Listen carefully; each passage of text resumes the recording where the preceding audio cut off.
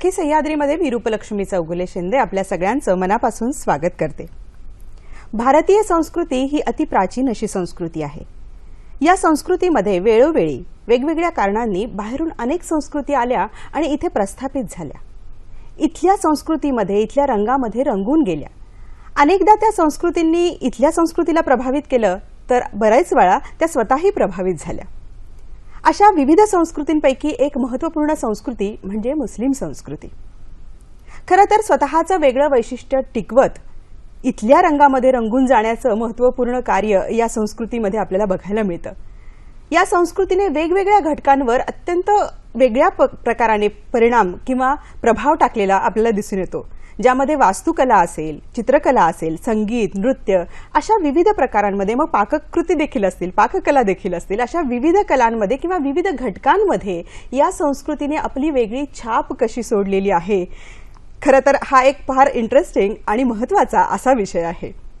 वास्तविक आज ताजमहल असेल किंवा अकबर असतील किंवा अमीर खुसरो असतील गालिब असतील बिस्मिल्ला खां असतील दिलीप कुमार असतील अब्दुल कलाम असतील कितीतरी नावं घेता येतील की ज्यांचा सर्वांना सार्थ असा अभिमान वाटतो.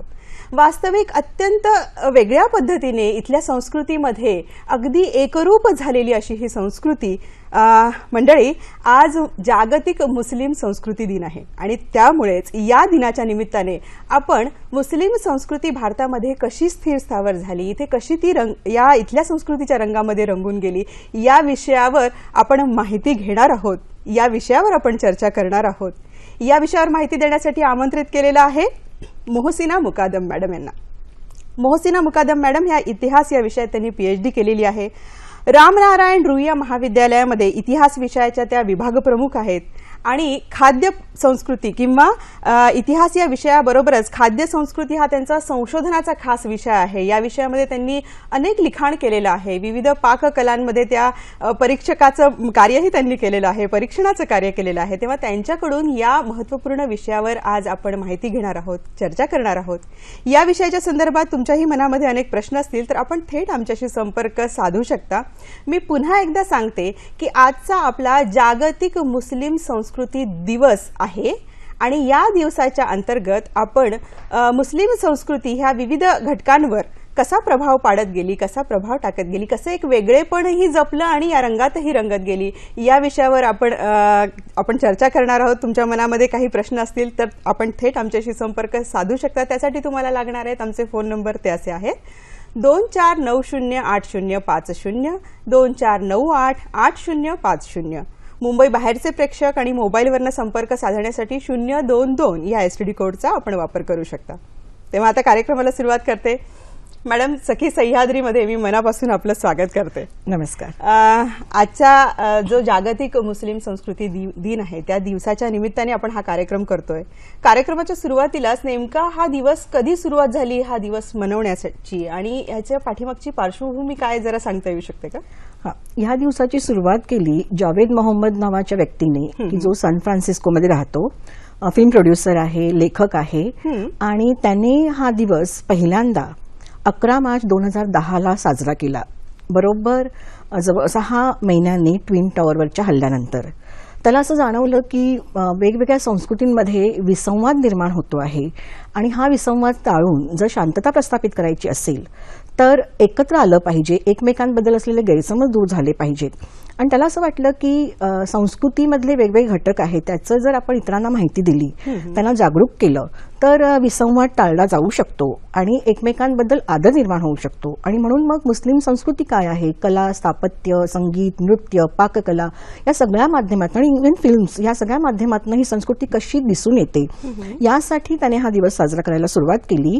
आणि आज अनेक देशांमध्ये जागतिक मुस्लिम दिन हा जागतिक मुस्लिम सांस्कृतिक दिन हा साजरा होतोय. त्यामुळे आज आजच्या दिवसाचं हे महत्त्व आहे की अकरा मार्च रोजी हा दिवस साजरा केला जातो. म्हणजे ह्याच्या पाठीमागची पार्श्वभूमी ही आहे की एकंदरीत सर्व संस्कृतींचा खरं तर एक सुंदर संयोग होणं एकमेकांच्या संस्कृतीबद्दल आदर मान सन्मान असणं हा खरं तर महत्त्वाचा विषय. त्या पाठीमागची पार्श्वभूमी पण किंवा विचारही तसा असू शकतो कदाचित तोच विचार आहे की. वेगवेगळ्या संस्कृतींमध्ये समन्वय आहे. तो काही ठिकाणी प्रत्यक्ष दिसून येतो काही ठिकाणी दिसून येत नाही त्या एकमेकांना प्रभावित करत असतात आणि त्या कशा प्रभावित होतात किंवा एकमेकांना कशा प्रभावित करतात आणि त्यातनं समन्वय कसा साधला जातो आणि एक ज्याला आपण कंपोजिट कल्चर म्हणतो की समन्वयाची संस्कृती जी आहे ती कशी निर्माण होते हे दाखवून देण्याचा त्याचा हा प्रयत्न आहे आणि मला वाटतं हा प्रयत्न खूप चांगला आहे कारण. आजच्या वातावरणामध्ये की जिकडे आपण आता खूपच सहिष्णुता सोडू लागलेलो आहोत. आणि अशा वेळेला भारतासारख्या देशामध्ये की जिकडे एक संस्कृती नव्हे तर अनेक संस्कृती चांगल्या शांततेच्या मार्गाने आनंदाने नांदत आहेत. अशा ठिकाणी तर हे अधिकच चांगल्या रीतीने लोकांपुढे आणलं पाहिजे आणि नवीन पिढीला हे कळलं पाहिजे की भारतीय संस्कृती नेमकी काय आहे त्याच्यामध्ये कोणाकोणाचं योगदान आहे आणि कशा प्रकारे योगदान आहे. खरंय आणि आपल्या संस्कृतीमध्ये तर या अनेक संस्कृतींचा मिलाप इतका सुंदर झालेला आहे. म्हणजे अं, द्वैत्वात अद्वैत्व असा सगळा प्रकार आहे. हो. त्या रंगात रंगुनी या रंग माझा हो. वेगळा असा पण भाग आहे. हो. म्हणजे प्रत्येक संस्कृतीने आपलं वैशिष्ट्य टिकवलेलं आहे आणि त्याच बरोबरीने त्या एकमेकांमध्ये खूप चांगल्या पद्धतीने. मिसळूनही गेलेल्या आपल्या इथे जर आपण आपल्या संस्कृतीचं जेव्हा वर्णन करतो त्यावेळेला आपण विविधतेत एकता असंच म्हणतो. त्यामुळे ही विविधता अनेक क्षेत्रातली आहे. तर ती जाणून घेणं अत्यंत महत्वाचं आहे आणि नवीन पिढीला तर हे जाणून घेणं अत्यंत महत्वाचं आहे. खरं आहे म्हणजे आता आपण चर्चा करणारच आहोत मॅडम पण अनेक गोष्टी अशा आहेत की खरंच या कुठल्या संस्कृतीतल्या आहेत असा आज आपल्याला विचार पडतो की खरंच या कु- यांच्या आहेत की या संस्कृतीच्या आहेत असा भेद आता उरलेला नाही मला वाटतं. प्रत्येक काळानुरूप बदल होत गेले आणि तसा तसा बदल होत गेला तो आपल्याकडनं आम्ही या कार्यक्रमाच्या निमित्ताने माहिती करून घेणारच आहोत. परंतु भारताचा विचार करायचा झाला तर आपल्या भारतामध्ये ही संस्कृती कशी रुजली सुरुवात कधी झाली कशी झाली याबद्दल काही माहिती देता येऊ शकते का? हो सर्वसाधारणपणे असा समज आहे की भारतामध्ये या संस्कृतीचं आगमन हे मेहमूद गझनी बरोबर झालं म्हणजे तुर्की आक्रमकाबरोबर झालं पण हे. खरं नव्हे. त्याच्याही अनेक शतकं आधीपासून भारतामध्ये मुस्लिम संस्कृती आलेली होती आणि रुजायला देखील लागलेली होती आणि याचे अनेक पुरावे आपल्याला आढळतात. अगदी मोहम्मद पैगंबराच्या काळामध्येच त्यांनी काही प्रसारकांना म्हणा किंवा काही हितचिंतकांना म्हणा भारतामध्ये पाठवलं होतं आणि केरळमधल्या चेर राजाकडे त्यांनी पाठवलं होतं आणि चेर राजाने त्यानंतर इस्लामचा स्वीकार केला होता आणि त्याच्या प्रजेने देखील इस्लामचा स्वीकार केला होता.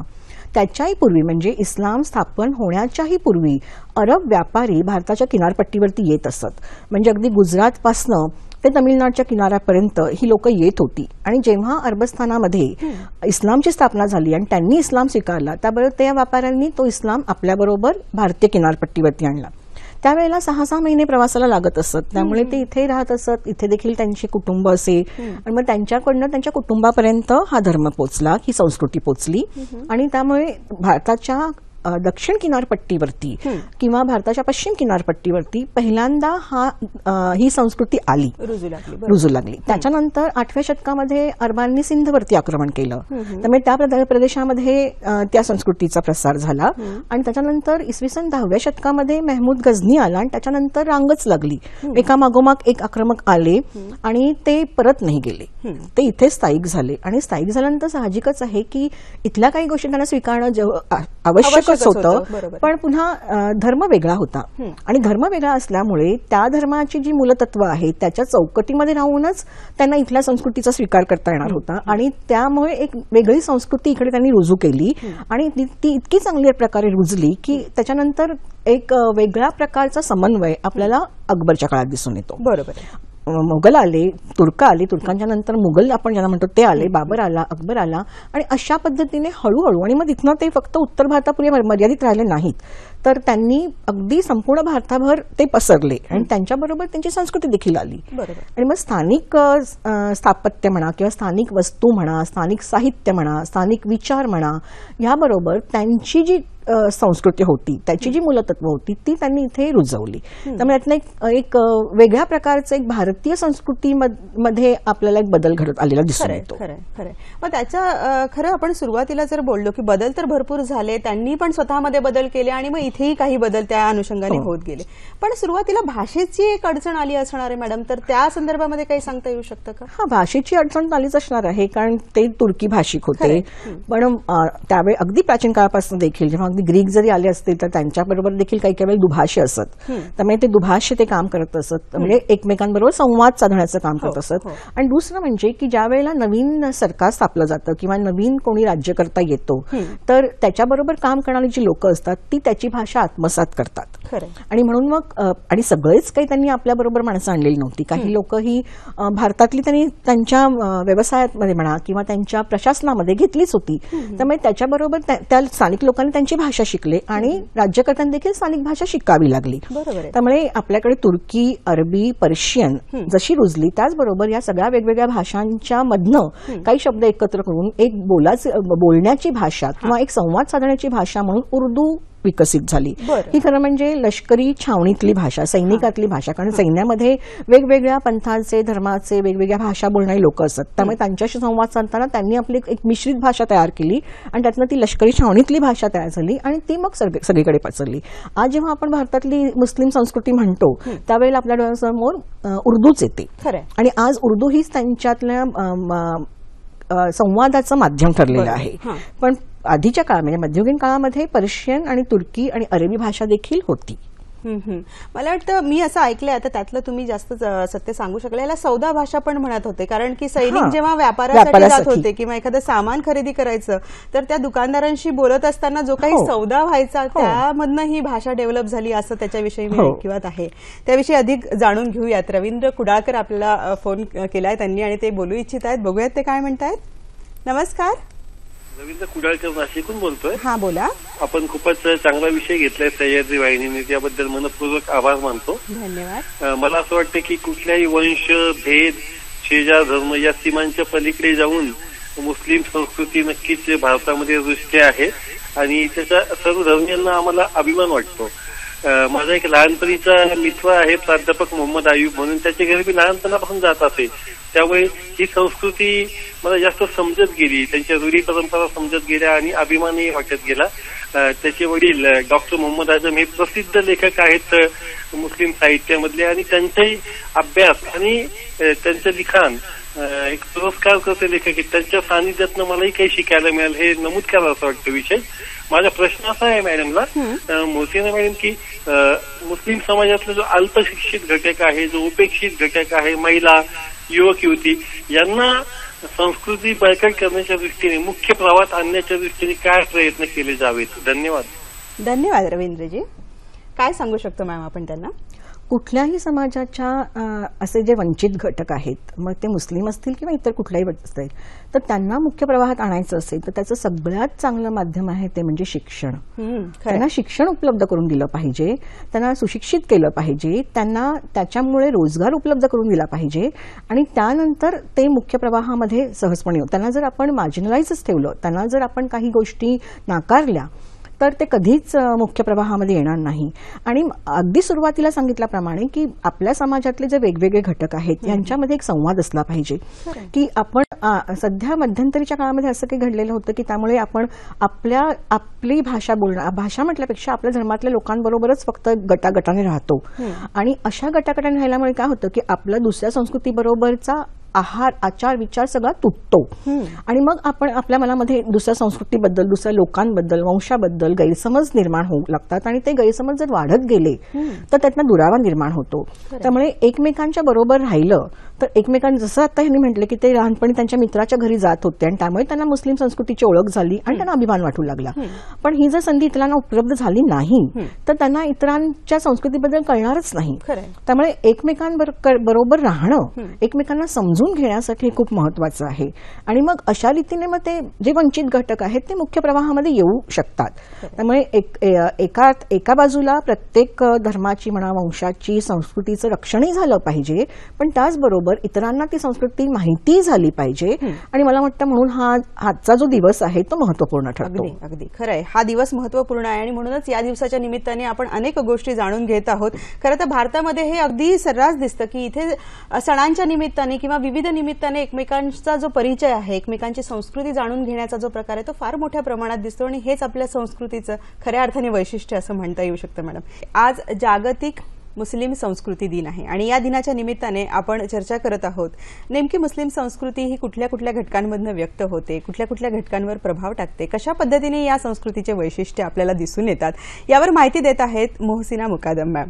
मॅम विश्रांतीला जाण्यापूर्वी आपण अनेक बाबींवर चर्चा केलेली आहे. नेमकी भारतामध्ये कशी रुजली कशा पद्धतीने याची वाढ झाली वगैरे. परंतु आपण म्हणतोय की संस्कृती संस्कृती नेमकी एखादी संस्कृती व्यक्त होते ते घटक कोणते असतात मॅडम? संस्कृती व्यक्त होण्याचे अनेक घटक असतात काही दृश्य असतात की ते आपल्याला सरळ डोळ्याला दिसतात. जाणवतात.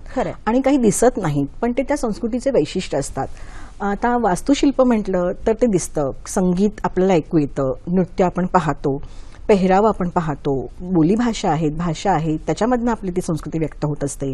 कलेच्या माध्यमातून ती संस्कृती व्यक्त असते. पण त्याच्याबरोबर प्रत्येक संस्कृतीची स्वतःची अशी काही मूल्य असतात. हा. ती मूल्य ती दिसत नाहीत. ती जाणवतात. त्यामुळे दृश्य आणि न दिसणारी अशी दोन्ही प्रकारची संस्कृतीचे घटक असतात. आणि याच्यामध्ये मला एक आता सांगायला सांगावंसं वाटतं ते म्हणजे की युनेस्को हा. हे जे घटक आहे युनायटेड नेशनचा त्यांनी आता इनटँजिबल कल्चरल हेरिटेज नावाचा एक कार्यक्रम उपक्रम सुरू केलेला आहे. त्याच्यामध्ये वेगवेगळ्या देशातले जे हेरिटेज आहे वारसा आहे सांस्कृतिक वारसा जो आहे की जो अदृश्य स्वरूपामध्ये आहे तो दिसत नाही किंवा तो सरळ सरळ डोळ्याला जाणवत नाही त्याचं संवर्धन करण्याची आता त्यांनी सुरुवात केलेली आहे. मग ह्याच्यामध्ये तुमचं लोकसंगीत येऊ शकतं लोककला येऊ शकते एखादी कलाकुसर येऊ शकते म्हणजे अगदी गोधडी बनवण्याची देखील कला येऊ शकते अशा पद्धतीने संवर्धन करण्याचा प्रयत्न अगदी. बारीक बारीक गोष्टी. असतात ज्या ह्याच्यामध्ये अंतर्भूत असतात आणि अशा वेळेला मग आपल्याला आप- ही टिकवून ठेवण्यासाठी याचा उपयोग होणार आहे. खरंय, खरंय. त्यामुळे जे आपण आता आपल्या हातातनं निसटत चाललेलं आहे तर त्याला जपायचं असेल तर आपल्याला आपल्या कोणत्या गोष्टी आहेत ते घटक काय आहेत ते समजून घेतलं पाहिजे आणि त्याच्यामध्ये त्याचं संवर्धन आपण कशा पद्धतीने करू आणि जागतिक पातळीवरती त्याच्या संवर्धनाची गरज आहे हे आपण कसं पटवून देऊ हे आपण करू शकतो. खरंय खरंय. काही ज्या गोष्टी आहेत त्या दृश्य स्वरूपात दिसतात आणि त्या दिस काही अशा असतात ज्या दिसत नाहीत. खूप चांगला मुद्दा तुम्ही हा मांडलेला आहे मॅडम. ज्या दृश्य स्वरूपात दिसणाऱ्या गोष्टी आहेत त्यांच्याकडे जरा येते. स्थापत्यशास्त्रावर या संस्कृतीचा फार मोठा प्रभाव आपल्याकडे दिसून येतो. काय सांगता येऊ शकतं त्या विषयाच्या संदर्भामध्ये? अ, तू म्हणालीस ते बरोबर आहे की पहिल्यांदी जेव्हा आपण मुस्लिम संस्कृती म्हणतो की आपल्या डोळ्यासमोर ताजमहाल येतो खरंय. किंवा कुतुब मिनार येतो किंवा गोलगुंबज येतो अशा पद्धतीच्या या वास्तू येतात. आणि या वास्तूंमध्ये काही धार्मिक वास्तू आहेत आणि काही सेक्युलर किंवा धर्मनिरपेक्ष वास्तू आहेत. तर धार्मिक वास्तूंमध्ये किंवा कुठल्याही प्रकारच्या वास्तूंमध्ये त्या त्या संस्कृतीची काही स्वतःची गरज असते. ती व्यक्त होत असते आणि मग स्थानिक पातळीवरती काय उपलब्ध आहे त्याचा वापर केला जातो. बरोबर भारतामधले जे वास्तू आहेत मुस्लिम वास्तू आहेत त्याच्यामध्ये तुम्हाला भव्यता दिसून येते. हो. आणि प्रामुख्याने मस्जिदी वगैरे ज्या आहेत त्या तुम्हाला खूपच मोठ्या मोठ्या दिसून येतात. म्हणजे एकेका वेळेला दहा दहा हजार लोक जिकडे नमाज पडू शकतात असं कारण इस्लाममध्ये किंवा मुस्लिम धर्मामध्ये नमाज एकत्रित पडण्याला महत्त्व आहे. खरंय. जे एकट्याने प्रार्थना करायची नाही आहे सामूहिक अनेकांना. सामूहिक प्रार्थनेला महत्त्व. आहे. त्यामुळे सामूहिक प्रार्थना म्हटल्यानंतर तिथे तेवढी लोक आली पाहिजेत. आणि मग तिथे तेवढी लोक आली की त्यांना जागा करून दिली पाहिजे. आणि म्हणून खूप अशी भव्य आपल्याला हॉल असलेल्या मस्जिदी वगैरे दिसतात. बरोबर. आणखीन या वास्तुशिल्पाचं वैशिष्ट्य म्हणजे की तिथेनं त्यांनी अ, मु- अ, मूळ त्यांच्या प्रदेशातनं. म्हणजे सौदी अरेबिया असेल किंवा इराण असेल ह्या ठिकाणावरनं ते वास्तुशिल्प आणलं. हा. पण स्थानिक मटेरियल किंवा स्थानिक सामुग्री आहे त्याचा वापर केला. बरं बरोबर आहे. पण कलाकार मंडळी पण तिकडनं आली का मला हे जाणून घ्यायचंय? नाही. थोडं थांबवते मॅडम. एक फोन आलेला आहे. तो फोन आधी घेते. किशोर नगरकर आपल्याशी बोलू इच्छित आहेत वरळीवरनं. ते काय म्हणतायत बघूया नमस्कार. नमस्कार. बघा गझल हा जो काव्य प्रकार आहे अत्यंत लोकप्रिय आहे. त्याच्यावरती त्याच्यामध्ये उर्दू भाषेचा सर्वात जास्त वापर केला जातो. व विद्वानांच्या मते उर्दूवरती अरबी व तुर्की भाषेपेक्षा फारसी भाषेचा जास्त प्रभाव आहे. फारसी. तर हे फारसी भाषेचा प्रभाव जास्त कसा काय आला? आणि त्याचप्रमाणे गझल या शब्दाचा नेमका अर्थ काय? आभारी आहे. बरं बरं. धन्यवाद किशोरजी. मला वाटतं आपण भाषेचा मुद्दा काढला होता त्यामध्ये मग साहित्य असेल काव्य असेल हा जो प्रकार आहे त्याच्यावर आपण बोलणारच होतो. किशोरजींचा फोन आलेला आहे त्यानिमित्ताने आपण काय त्यांना मार्गदर्शन त्यांचा एक प्रश्न होता की फारसी भाषेचा का जास्त प्रभाव. आहे? तर जसं आजच्या काळामध्ये आपल्या भाषा भाषेवरती इंग्रजीचा प्रभाव आहे कारण इंग्रजी ही आजची मान्य जा- जाग- जागतिक भाषा किंवा जागतिक मान्य भाषा असं म्हटलं जातं. त्या काळामध्ये म्हणजे ज्या वेळेला मुस्लिम राज्यकर्ते भारतात येऊन स्थायिक झाले त्याच्यामध्ये मुघल काळामध्ये मुघलांवरती पर्शियाचा खूप प्रभाव होता. कारण त्यावेळेच्या मुस्लिम राज्यांमध्ये म्हणजे अरब अरबी देश नाही म्हणता येणार पण ज्या ज्या ठिकाणी मुस्लिम संस्कृती होती त्याच्यामध्ये सगळ्यात महत्त्वपूर्ण राज्य होतं आणि ते म्हणजे पर्शियाचं. त्यामुळे पर्शियाच्या राज्यकर्त्यांचा दबदबा होता. त्यामुळे भारतातल्या मुघलांना देखील पर्शियाच्या राज्यकर्त्यांच्या संस्कृतीचं किंवा त्यांचं अनुकरण करणं आवश्यक वाटत होतं. बरोबर. त्यामुळे जसं मध्ययुगीन काळामध्ये इंग्लंड किंवा फ्रान्समध्ये वगैरे फ्रान्स नाही इंग्लंड किंवा रशियामध्ये वगैरे फ्रेंच भाषेला खूप महत्त्व होतं. कारण फ्रान्सचं महत्त्व होतं. बरोबर. म्हणजे राजकारणामध्ये कुठल्या देशाचं महत्त्व आहे त्याचा प्रभाव जसा संस्कृतीवरती पडतो. तसं मुघलांवरती पर्शियाचा प्रभाव होता. पर्शियाच्या प्रदे- प्रदेशातनं अनेक लोक मुघलांकडे येत असत त्यांना दरबारामध्ये मानाचं स्थान दिलं जायचं त्यांना प्रशासनामध्ये सामील करून घेतलं जायचं आणि त्या संस्कृतीचं अनुकरण करण्यामध्ये मुळात तुर्की असलेल्या मुघलांना खूप अभिमान वाटायचा. खरं.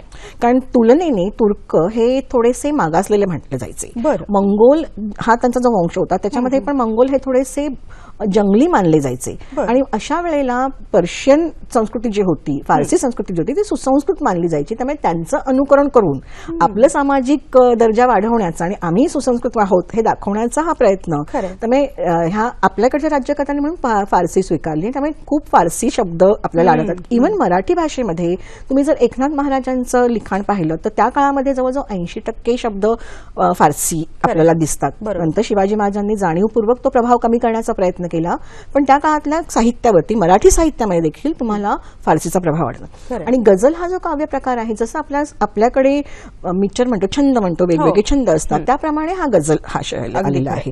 त्यामुळे आणि त्याच्यामध्ये उर्दू मिश्रित उर्दू मुख्य पण त्याच्यामध्ये अनेक अरबी म्हणा किंवा फारसी म्हणा असे शब्द तुम्हाला आलेले आहे. आढळतात त्याच्यात रदीप काफिया या आहे.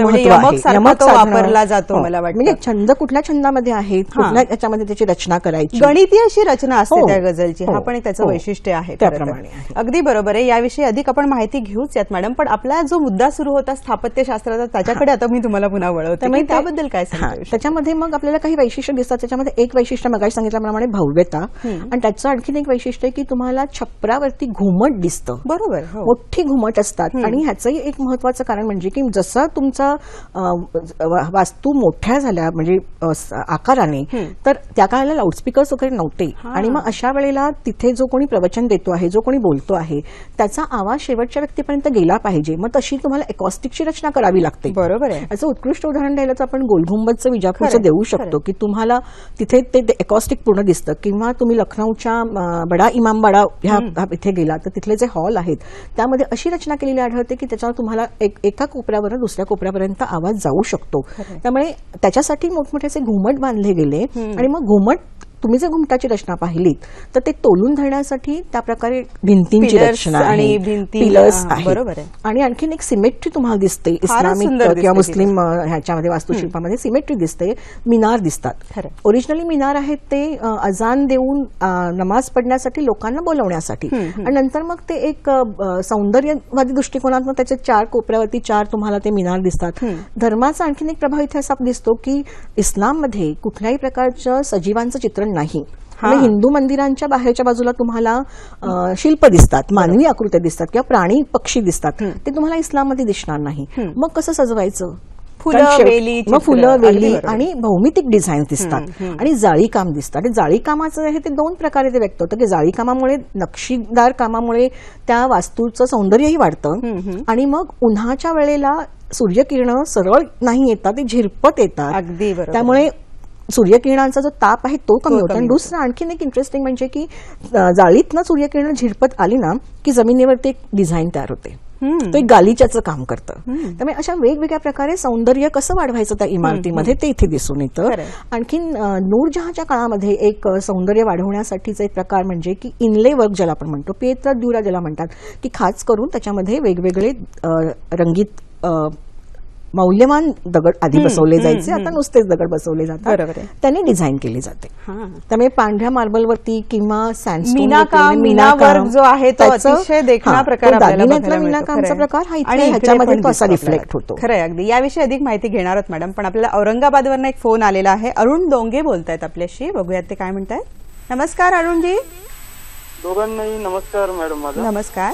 मी अरुण डोंगे बोलतो औरंगाबाद जिल्ह्याच्या सिल्लोड तालुक्यात बोला मॅडम मध्ययुगीन कालखंडात भारतावर वायव्य सरहद दिशेने ज्यावेळेस अरबी तुर्की मुस्लिमांनी वारंवार हल्ले चढविले या आक्रमणाबरोबर अनेक विद्वान मुस्लिम लेखक भारतात आले. त्यांनी जे साहित्याची ग्रंथ संपत्ती निर्माण केली ती भारताच्या मध्ययुगीन इतिहासाच्या दृष्टीने अतिशय उपयुक्त ठरलेली आहे. अशा अनेक महत्त्वाच्या ग्रंथांपैकी विद्वान लेखक अल बेरुनी यांचा तहती ए हिंद. हा ग्रंथ खूपच महत्त्वाचा समजला जातो. कारण या ग्रंथामुळे भारतातल्या मध्ययुगीन इतिहासाच्या भारतीय संस्कृतीवर बराच प्रकाश पडतो. मला मुकादम मॅडमना असं विचारायचं आहे की तहती ए हिंद या ग्रंथाचा थोडक्यात आशय सांगू शकाल का? कोणत्या ग्रंथाचा? हॅलो अरुणजी तुमचा आवाज नाही पोहोचला शेवटी शेवटी आमच्यापर्यंत. पुन्हा एकदा थोडंसं रिपीट कराल? मॅडम माझा असा प्रश्न आहे. हा. ज्या मुस्लिम ग्रंथ निर्मिती झालेली मध्ययुगीन कालखंडामध्ये हा. अशा अनेक महत्त्वाच्या ग्रंथापैकी विद्वान लेखक जे होते अल बेरुनी हो तो भाग कळाला अरुणजी. आपण शेवटी काय बोललात?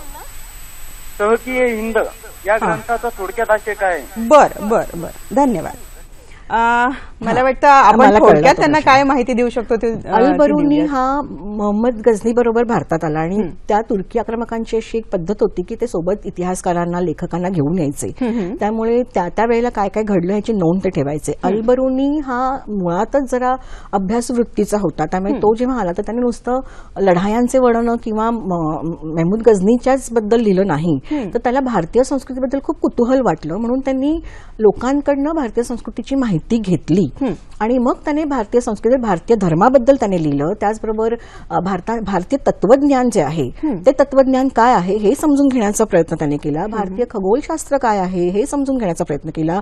ज्योतिष विज्ञान काय आहे हे समजून घेण्याचा प्रयत्न केला. आणि या सगळ्यांवरती त्याने तैकिके हिंद नावाचा एक ग्रंथ लिहिला. आणि त्या ग्रंथ ते- ग्रंथ जो आहे बराच मोठा ग्रंथ आहे. आणि त्या ग्रंथाचं इंग्रजीमध्ये भाषांतरही झालेलं आहे.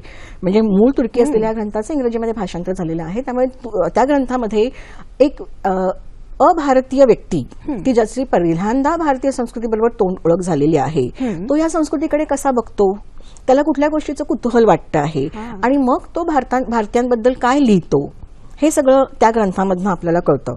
त्यामुळे हा ग्रंथ अगदी जास्त करून तत्वज्ञान विद्वा विज्ञान वगैरे अशा दृष्टिकोनातनं जास्त आहे. सामान्य माणसाच्या बद्दल तो जास्त लिहित नाही.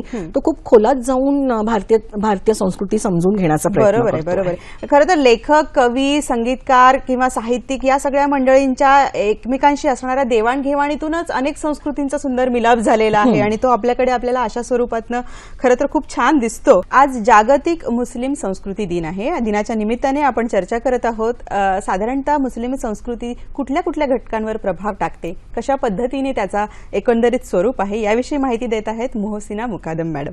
मॅम विश्रांतीला जाण्यापूर्वी आपण ज्या मुद्द्यांवर चर्चा केली त्यात आणखी एक महत्त्वाचा मुद्दा असा सारखा राहून राहून मनात येतो की खरं तर इथे हळूहळू काळानुरूप बदल होत गेले संस्कृतीमध्ये. इथे हळूहळू रुजली आपल्या देशामध्ये ती संस्कृती. परंतु आपला जो देश आहे त्याचं वैशिष्ट्य असं आहे की काश्मीरपासून कन्याकुमारीपर्यंत ह्या देशात प्रत्येक प्रदेशामध्ये वैविध्य आपल्याला दिसून येतं. मग सगळीकडे ही संस्कृती सारखीच आहे का? असं काही दिसतं का आपल्याला? नाही असं नाही दिसत. हां. आणि ह्याचं एक कारण म्हणजे की कुठलीही संस्कृती असं म्हणू शकत नाही की ती इतरांपासून पूर्णपणे अलिप्त राहिलेली आहे. हां. खूपच क्वचित अशा काही संस्कृती आहेत की ज्यांच्यावरती इतरांचा कमीत कमी प्रभाव आहे. आणि भारतासारख्या देशामध्ये तर असं होतच नाही. आणि काश्मीर ते कन्याकुमारी अगदी बंगालपासून ते गुजरातपर्यंत. प्रत्येक प्रदेशामधली मुस- मुस्लिम संस्कृती आहे. त्याच्यामध्ये तुम्हाला दोन प्रकारचं दिसतं. एक म्हणजे की इस्लामची मूलतत्व. धर्माची जी मूलतत्व आहे ती आणि मग त्या चौकटीमध्ये राहून स्थानिक जी संस्कृती आहे त्याचा प्रभाव बरं हां मग तो भाषेवरती असेल म्हणजे. जर तू बघितलंस तर महाराष्ट्रातले जे मुस्लिम आहेत. ते इथली भाषा बोलतात खरंय ते मराठी बोली बोलतात भाषेचा कोकणी बोलतात. बोली भाषेचा कर्नाटकमध्ये कानडी बोलतील किंवा तुळू बोलतील वेगळ्या लहेजा वेगळ्या लहेजामध्ये तमिळनाडमध्ये तसंच होईल. आणि राहणीमान पण त्या त्याच्यासारखंच असेल. म्हणजे जर तुम्ही कोकण किनारपट्टीवरची लोक बघितलीत तर त्या तिकडचे मुस्लिम जे आहेत ते साडी नेसतील. मंगळसूत्र घालतील हिरव्या बांगड्या घालतील. किंवा आत्ता आतापर्यंत अशी प्रथा होती की ज्यावेळेला लग्नाला मुलगा निघायचा त्यावेळेला त्याची ओवाळणी केली जायची. ही खूप हिंदू पद्धत आहे. पण ती हो- ती होती का? हळद लावण्याची जी पद्धत असेल तर अशा प्रकारे दिसतं आपल्याला. अनेक म्हणजे प्रथा अनेक दिसतात प्रथा दिसतात अनेक हे दिसतात. म्हणजे मग मगासपासून मी जे सांगत आले की जसं इव्हन भारतीय मुस्लिम संस्कृती जी आहे ती सौदी अरेबियापेक्षा थोडी वेगळीच आहे हां किंवा युरोपमध्ये ज्या ठिकाणी इस्लाम आहे. तिकडची संस्कृती ही अरबस्थानापेक्षा वेगळी असणार आहे. कारण शेवटी काय असतं की तुम्ही जिथे राहता त्याचा तुमच्यावरती पहिल्यांदा प्रभाव पडतो. अगदी खरंय. अ, फक्त एवढंच बघितलं जातं आणि तेच आणि त्याच्यामध्ये की मूलतत्व जी आहे धर्माची त्याला कुठेही छेद दिला जाणार नाही. त्या गोष्टी स्वीकारल्या जातात. आणि ज्या त्या चौकटीमध्ये बसत नाही त्या स्वीकारल्या जात नाही खरंय. त्यामुळे एकाच वेळेला तुम्हाला इस्लामिक कल्चर किंवा मुस्लिम कल्चर म्हटलं तर एका बाजूला त्याच्यामध्ये समानता दिसेल आणि दुसऱ्या बाजूला त्याच्यामध्ये. वैविध्य दिसेल. अगदी खरंय. म्हणजे हा एक महत्त्वाचा मुद्दा आहे खरं आणि तो प्रत्येक संस्कृतीच्या बाबतीमध्ये आपल्याला दिसून येतो असं म्हणायला काही हरकत नाहीये. कारण शेवटी जसं तुम्ही सांगितलं की मूलतत्व सोडली तर तिथल्या परिसराचा तिथल्या वातावरणाचा तिथल्या नैसर्गिक गोष्टींचा देखील खूप सगळ्या गोष्टींवर बारीक सारीक हा प्रभाव पडतच असतो.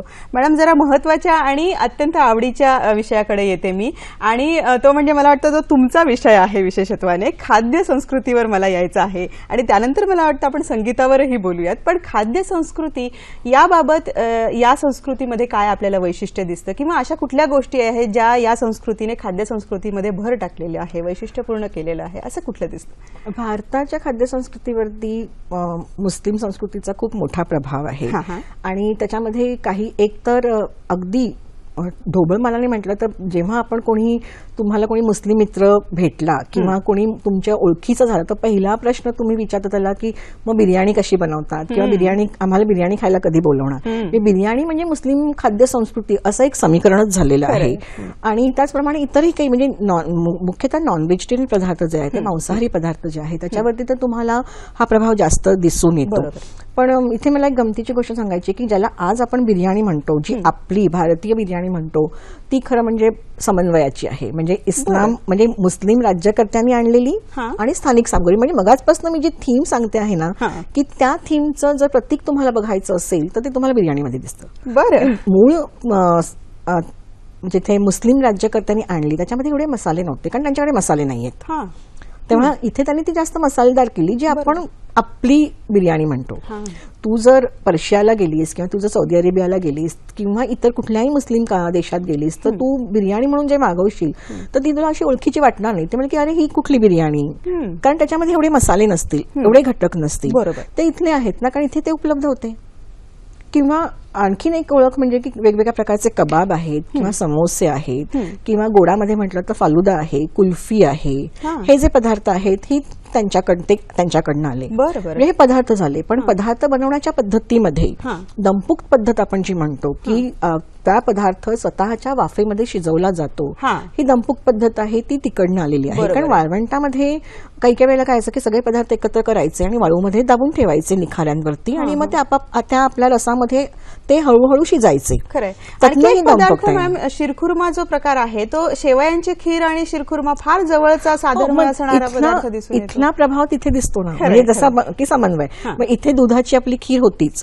शेवयाबद्दल तर खूपच इंटरेस्टिंग इतिहास होऊ शकतो की शेवया प्रवास करत करत भारतापर्यंत आलेला आहे. बरं. तर मग इथला शेवय शेवया आणि मग दूध. इकडे आपल्याकडे तर दुधाचाच देश ना आपला. हो, खरंय. त्यामुळे दुधाचा वापर करून मग ते तुला अगदीच म्हणजे आश्चर्य वाटेल की कोकणामध्ये आत्ता आतापर्यंत ईदच्या निमित्ताने शेवया किंवा शिरकुर्मा होत नव्हता. त्यावेळेला होत होते करंजी बरं.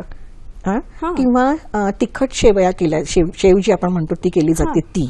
ते पदार्थ आणि दुधीचा हलवा म्हणजे दुधी हलवा म्हणजे किसलेल्या दुधीचा हलवा नव्हे तर दुधीचे तुकडे करून दुधा नारळाच्या दुधामध्ये शिजवण्याचा एक कोकणी पदार्थ आहे हे पदार्थ खास ईदच्या निमित्ताने केले जायचे किंवा. सांदण केलं जायचं की जे कोकणातल्या अनेक कुटुंबांमध्ये केलं जातं हा शेवया आणि शिरकुर्मा हे नंतर आलेले आहे बरं बरं म्हणजे हा, काळानुरूप बदल बदलत गेले म्हणजे. मगाचपासून. मी जो मुद्दा सांगते. की स्थानिक प्रभाव कसा दिसतो तर स्थानिक प्रभाव हा असा पण दिसतो बरोबर आहे अगदी खरं. त्यामुळे हं, तर हे सगळे आणखी दुसरं एक दिसतं आणि ते म्हणजे की पदार्थ बनवून टेक्निक ज्याला आपण म्हणतो की तंत्र म्हणतो त्याच्यामध्ये बदल त्याचप्रमाणे काही घटक वापरण्यामध्ये सुके मेवे आले तिकडनं. मुद्द्यावर येणार होते. सुके मेवे आले आणि मग ते गार्निश म्हणून वापरायचे खरं. त्याचप्रमाणे ग्रेव्ही दाट करण्यासाठी वाटून वापरायचे अशा वेगवेगळ्या पद्धतीने ते वापरले जाऊ लागले खजूर खारीक हा प्रकार खजूर खारीक प्रकार तिकडनं आलेला आहे त्याचा वापर आपण मग आपल्याला आपल्याला जसा सोयीचा वाटला तसा आपण वापर त्याचा करू लागलो. पण मूळ त्याचं जे आहे ते तिकडनं इथे आलेलं. अनेक अनेक फळं आली. म्हणजे. द्राक्ष कलिंगड त्याचप्रमाणे सफरचंद वगैरे डाळिंब यासारखे मोठ्या प्रमाणामध्ये आणि काही राज्यकर्त्यांनी त्याच्यासाठी प्रयत्न केले. म्हणजे अकबरने ते तिकडनं मागवले. त्याचबरोबर तिकडनं पुन्हा एकदा पर्शियामधनं त्याने माळी मागवले गार्डनर्स मागवले बागकाम करण्यासाठी. आणि मग त्याच्यासाठी त्यांनी प्रोत्साहन दिलं की हे सगळं भारतामध्ये झालं पाहिजे. आणि म्हणून मग भारतामध्ये त्यांनी या फळझाडांच्या फुलझा फळझाडं लावायला सुरुवात मोठ्या प्रमाणामध्ये केली. आणि मग ही मोठ्या प्रमाणामध्ये लोकांना देखील उपलब्ध करून दिली. त्याची सॅप्लिक्स ज्याला म्हणतो आपण ते उपलब्ध करून दिले. आणि मग लोक त्याप्रमाणे लागवड करू लागले. आणि मग मोठ्या प्रमाणामध्ये ही फळं भारतामध्ये देखील रुजली. खरंय फुलांमध्ये गुलाबा गुलाबाचं. महत्त्व आहे बाबरने गुलाबाच्या गुलाबाचं बागा लावल्या. बाबरने गुलाबाच्या बागा त्याला बाबर जेव्हा भारतात आला त्यावेळेला भारत त्याला एवढा आवडलेला नव्हता. त्याच्या आत्मचरित्रामध्ये तो म्हणतो की इथे अनेक गोष्टी नाही त्याच्यामध्ये त्याला काय काय नव्हतं त्याला आवड इकडे म्हणजे थंड पाणी मिळत नाही. हा. इकडे चांगली फळं झाडं म्हणजे फळं नाही आहेत. इकडे खूप धूळ आहे. इकडे खूप उन्हाळा आहे. आणि इथले मासे देखील खूप कंटाळत म्हणजे माशांमध्ये खूप काटे आहेत. असं सगळं त्याने वर्णन केलेलं आहे. आणि मग इथे त्याने ते जे नाही ते आणण्याचा प्रयत्न करण्यामध्ये त्याने गुलाबं आणली गुलाबांच्या बागांची रचना केली खरंय आणि याच्यामध्ये बागांच्या रचनेमध्ये देखील हा प्रभाव तुम्हाला दिसतो. अशा अर्थाने की भारतीय बागा ज्या होत्या त्याच्यापेक्षा वेगळ्या म्हणजे आधीच्या ज्या हा. बागा होत्या त्याच्यापेक्षा वेगळ्या बागा हो, आहेत खरंय. ज्याला चार बाग असं म्हटलं जातं एक सिमेट्रिकल एक जॉमेट्रिकल डिझाईन तुम्हाला बागांच्या रचनेमध्ये आढळते. तुझं ताजमहालच्या समोरची बाग बघितलीस. हो. किंवा फतेपूर सिक्रीकडची बाग बघितली का मुघल गार्डन्स बघितले राष्ट्रपती भवनाचं. किंवा काश्मीरमधलं निशांत बाग किंवा शालिमार बाग वगैरे बघितलं तर त्याच्यामध्ये तुला एक विशिष्ट रचना आढळली. आणि मग ही रचना म्हणजे की जन्नत ज्याला म्हणतात की स्वर्ग ज्याला म्हणतो त्याचं भारतामध्ये भारतामध्ये नाही त्याचं भूमीवरती कसं तुम्ही आणू शकता. मग ते चार विभाग आणि मधनं पाणी कारंजाचा वापर कारंज. कारंज किंवा झरा. की जे स्वर्गातल्या नदीचं प्रतीक आहे. आणि अशा पद्धतीने ते आणि मग विशिष्ट प्रकारची झाडं लावली जाते आणि मध्ये आणि त्याचबरोबर ही लोक बहुतेक भटक्या जमाती होत्या ना? त्यामुळे त्या बागेमध्ये पण पुन्हा तुम्हाला टेंट दिसतात किंवा तंबू वगैरे पण हो, रचना हो. केली जायची. त्यामुळे अशा प्रकारे बागांमध्ये देखील त्यांनी एक वेगळं वैशिष्ट्य आणलेलं आपल्याला दिसून येतं. खरंय गुलाबाचा आपला विषय निघाला तर सौंदर्य प्रसाधनांमध्ये गुलाबांचा वापर हा पण मला वाटतं फार मोठ्या प्रमाणात म्हणजे स्त्रियांचा आवडीचा हा भाग आहे. हो. तर त्या बाबतीत काही सांगता येऊ शकतं त्याच्याबद्दल असं म्हटलं जातं की गुलाबाचा अर्क. हा. आणि आता ह्याच्यामध्ये गुलाबाच्या अर्काचा दोन प्रकारे पण म्हणजे एक तर सौंदर्यासाठी देखील सौंदर्य प्रसाधनांमध्ये देखील. वापर केला जायचा आणि इव्हन आपल्याकडे आपण वेलची वगैरे घालतो खाद्यपदार्थांना सुगंध देण्यासाठी. जायफळ वेलची सारखे सुगंधी पदार्थ घालतो. तर हे गुलाबाचं पाणी किंवा केवड्याचा अर्क घालतात. आणि गुलाबाच्या अर्काची सुरुवात म्हणजे गुलाबाचा गुलाबाचा एसेन्स म्हणायला मिळाले गुलाबाचं अत्तर ह्याची सुरुवात म्हणजे हे पहिल्यांदा नूरजहाने निर्माण केलं असं सांगितलं जातं. बरं. की तिच्या आंघोळीच्या पाना पाण्यामध्ये गुलाबाच्या पाकळ्या घातल्या जायच्या. त्याच्यामध्ये त्याला तिला तेल तरंगताना दिसलं आणि त्यातनं तिला ही कल्पना सुचली की ह्याचा अर्क काढला जाऊ शकतो आणि त्याचा वेगळ्या वेगळ्या प्रकारे वापर केला जाऊ शकतो. बरोबर आहे बरोबर. त्यामुळे वेगवेगळ्या फुलांचे अर्क काढून त्याचा वापर करणं सुगंधासाठी म्हणा किंवा कॉस्मॅटिक्समध्ये वगैरे म्हणा हे देखील आपल्याला इथे तंत्र दिसतं. बरोबर आहे. सौंदर्याचा विषय निघालाच आहे मॅडम. तर सुरमा लावण्याचा जो पद्धत किंवा प्रथा आहे तिथे या संस्कृतीमध्ये आपल्याला फार दिसून येते. त्या पाठीमागची काही पार्श्वभूमी आहे? सुरमा लावण्याच्या पद्धतीमध्ये शास्त्रीय कारण आहे औषधाचं कारण आहे की. डोळ्यांना थंडावा देण्यासाठी हा. सुरमा लावला जातो. आणि इस्लाममध्ये काही गोष्टी मान्य आहेत त्याला सुन्नत म्हटलं जातं की ह्या गोष्टी कराव्यात असं. त्याच्यामध्ये सुरमा लावण्याची परवानगी आहे. त्यामुळे सुरम्यामुळे डोळ्यांना थंडावा मिळतो आणि डोळ्याची काळजी घेण्याच्या दृष्टिकोनातनं सुरमा लावणं जसं आपल्याकडे आपण काजळ लावतो त्याच प्रकारे. अगदी बरोबर आहे. मॅम आपण या सगळ्या विषयांवर जेव्हा चर्चा करत आहोत ना तेव्हा एक सार- सारखं सारखं राहून राहून एक मुद्दा लक्षात येतोय की सगळ्या गोष्टी इतक्या सुंदर रीतीने सरमिसळ झालेली आहे की आज कुठल्या गोष्टी त्या संस्कृतीच्या आणि या संस्कृतीचा असा भेद उरलेला नाही. इतका तो सुंदर त्याचा मिलाप झालेला आपल्याला दिसून येतो. असाच सुंदर मिलाप झालेला एक खूप प्रमुख घटक किंवा भाग म्हणजे संगीत हे क्षेत्र. हो. तर संगीतामध्ये सुफी संगीत असेल कव्वाली असेल किंवा भारतीय हिंदुस्थानी शास्त्रीय संगीत या सगळ्यांवर आपल्याला मुस्लिम संस्कृतीचा प्रभाव किंवा एक वैशिष्ट्य दिसून येतं. तर त्याबाबत काय सांगता येऊ इथे उलट आहे म्हणजे म्हणजे इस्लामिक प्रभाव तुम्हाला दिसतो मुस्लिम प्रभाव दिसतो तो सुफी ह्याच्यामध्ये दिसतो. हो. पण इतर साहित्य इतर संगीताच्या मध्ये तुम्हाला भारताचा त्यांच्यावरती पडलेला प्रभाव दिसून. येतो कारण भारतीय शास्त्रीय संगीत सामवेदापासूनच आहे. सुफींनी संगीत हे माध्यम ठरवलं. आपल्या उपासनेचं. त्यामुळे सुफी संगीत तसं डेव्हलप झालेलं आपल्याला दिसतं. सुफींनी कव्वाली हा काव्य प्रकार किंवा देवाची स्तुती करण्यासाठी संगीताचा वापर करण्याचा प्रकार आणला. पण भारतीय शास्त्रीय संगीत जे आहे ते मुस्लिम संगीतकारांनी स्वीकारलं. बरं.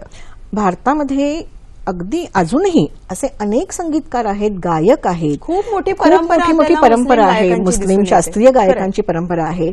आणि त्यां- त्यांनी संगीताला उपासनेचं माध्यम मानलेलं आहे. आणि हे करत असताना त्यांना त्यांचा धर्म कुठेही अडचण म्हणून येत नाही किंवा अडथळा म्हणून येत नाही. आणि म्हणून मग तुम्ही बघता की अनेक मुस्लिम गायक जे आहेत त्या अशा बंदिशी की ज्याच्यामध्ये कृष्णाचं वर्णन आहे त्याच्यामध्ये राधेकृष्णाचं वर्णन आहे. किंवा देवदेवतांचं वर्णन आहे अशा बंदिशी तेवढ्याच उत्कटतेने गातात. खरंय.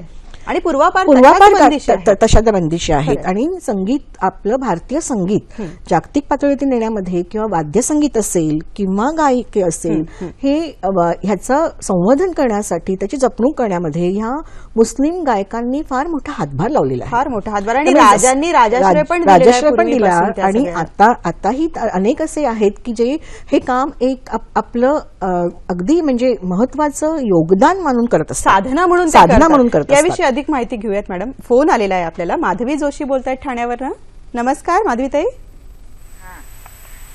नमस्कार. नमस्कार. हा नमस्कार. मोहसिना ताईना आम्ही नेहमी बघितलेलं आहे. त्यांची बोलण्याची भाषा सुद्धा इतकी मराठी एकदम अप्रतिम आहे आवडते. मला असा प्रश्न विचारायचा आहे की कव्वाली याचा अर्थ काय? कारण गझला आता मराठीमध्ये सुद्धा येतात पण कव्वाली आणि त्यांची ती ठराविक दोन्ही टाळ्या वाजवण्याची पद्धत वगैरे ही ती कशी काय आहे ती जरा सांगू शकाल का आपण? धन्यवाद. धन्यवाद वाटतं त्याच मुद्द्यावर आपण बोलत. कव्वाली हा एक प्रकार जो आहे हा. उपासनेचाच एक भागाचा अशा येतात की सुफींनी ह्या प्रकाराला जास्त केलं की तुम्ही बघाल तर सुफींच्या ज्या दर्गा आहेत त्या दर्गांवरती तुम्हाला कव्वाली गायनाचे कार्यक्रम आढळतात.